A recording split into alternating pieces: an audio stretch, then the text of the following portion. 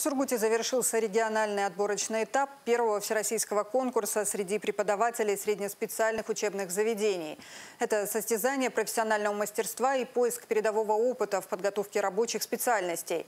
Кто стал лучшим мастером округа и кому теперь предстоит защищать честь Югры на федеральном уровне, знает Светлана Славкина.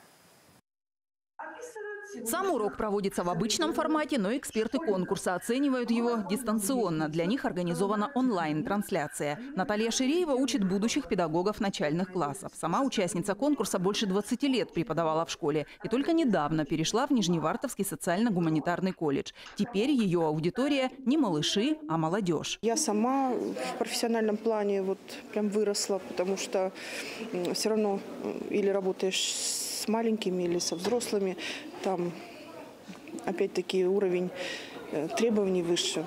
Вот. Нужно соответствовать, быть в тренде, разговаривать на их языке. Мы говорим не обратная связь, а фидбэк сейчас. Даже эксперты вот спрашивали, а почему так много иностранных слов?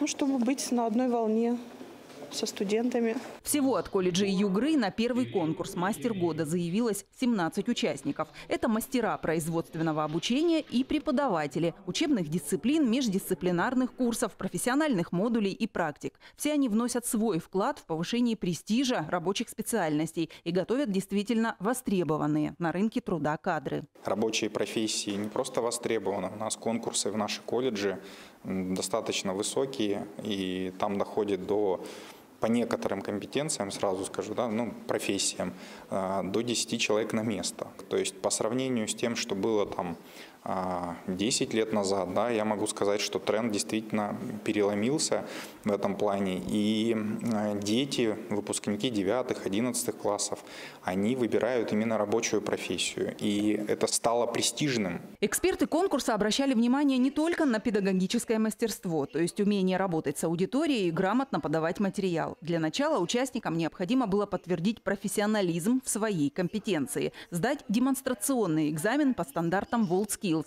и получить Skills паспорт. Так организаторы решили обеспечить максимально объективную оценку каждого конкурсанта и поднять планку самих состязаний. По итогам регионального этапа мастером года 2021 названа Наталья Ширеева из Нижневартовского социально-гуманитарного колледжа. Она будет представлять ЮГРУ на уровне всей страны в финале конкурса. Он состоится в октябре и соберет на своих площадках самых сильных представителей российской системы профессионального образования. Светлана Славкина, Роман Турбин, Вести Югория, Сургут.